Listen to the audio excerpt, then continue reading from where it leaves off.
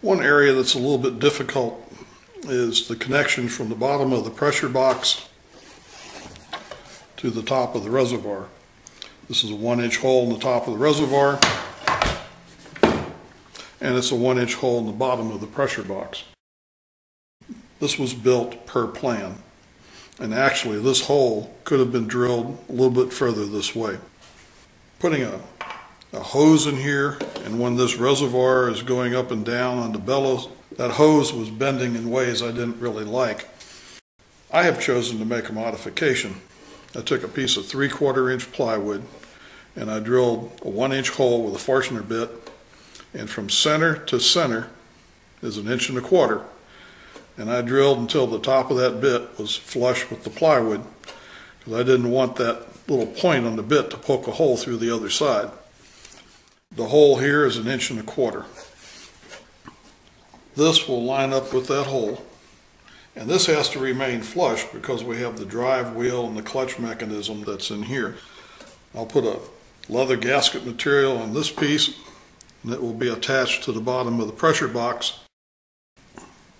The part that goes on top of the reservoir is drilled inch and a quarter straight for about oh, 3 sixteenths of an inch. And then on the other side, it's angled at 9 degrees.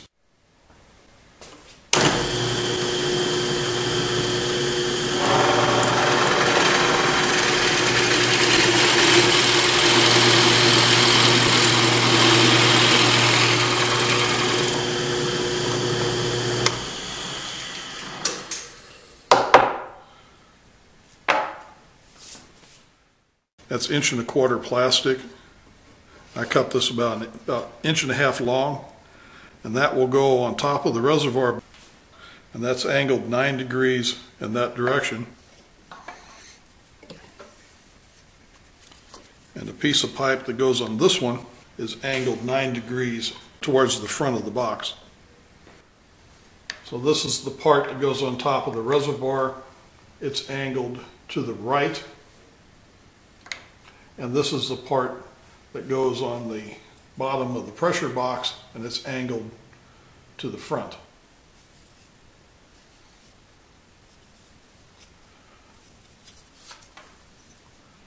One inch Forstner, center to center, inch and a quarter, and I drilled out the center of it and cleaned it up with a chisel.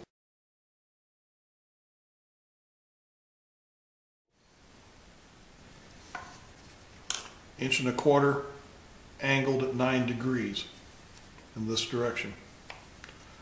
I'm going to glue that piece of plastic in there with just regular PVC cement, grip onto the plastic, and it will grip onto the wood as well. I will clean out this excess plastic with a Dremel tool. These two pieces are put together with a piece of bicycle inner tube that's about three and a half inches long. So the top of the reservoir is going to be moving like this. And so we want to make sure that there's no chance for that hose to accidentally close. I made a spring. This is 17 gauge galvanized electric fence wire. And I wrapped that around a 7 8 inch wood dowel. Rounded the ends a little bit so I don't poke a hole in the inner tube. That just fits up inside there.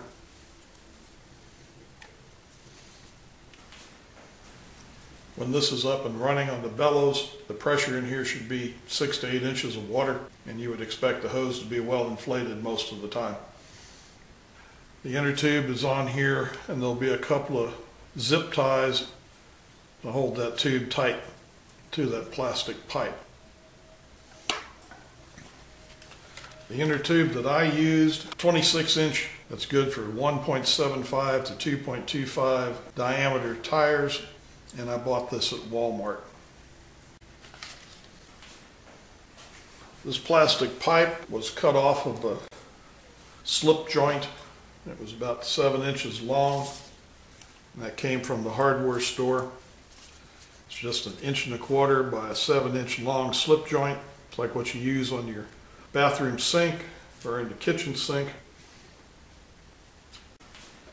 That's enough to make these connections for two organs and I have cut that about an inch and a half long. I just have this clamped in place, temporary. This will be attached to the top of the reservoir, and all you expect that reservoir to be doing is moving up and down about like that. So that hose looks pretty good. And again, this is just a diverter manifold.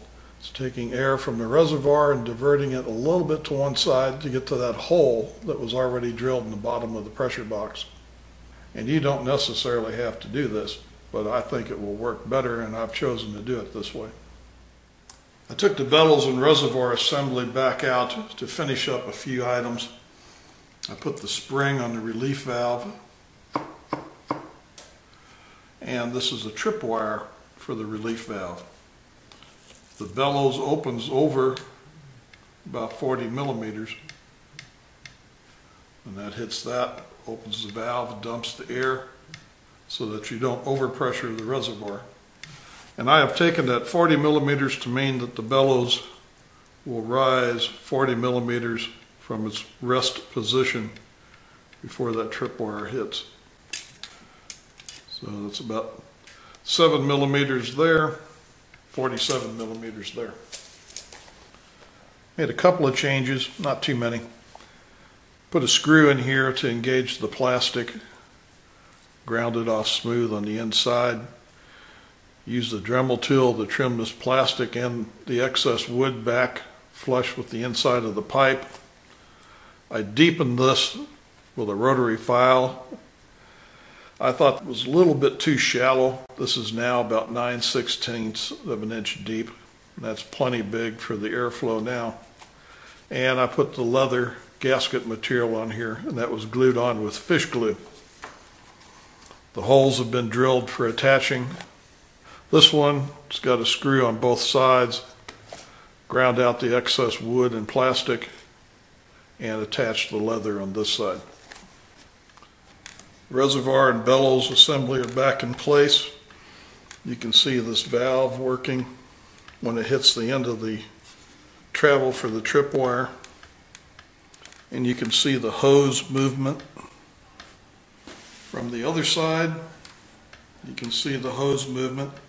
I'm hitting the tripwire right there, so that's that's full deflection on that hose.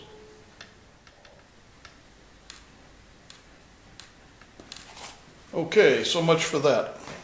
On to the next project. Interesting to note, to this part of the project, I've made 166 pieces, used 121 screws, and 39 pieces of miscellaneous hardware.